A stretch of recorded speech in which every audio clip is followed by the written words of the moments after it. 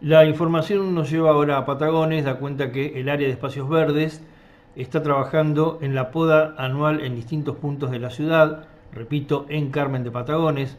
Las tareas se realizan con el objetivo de prevenir y mantener los árboles del ejido urbano.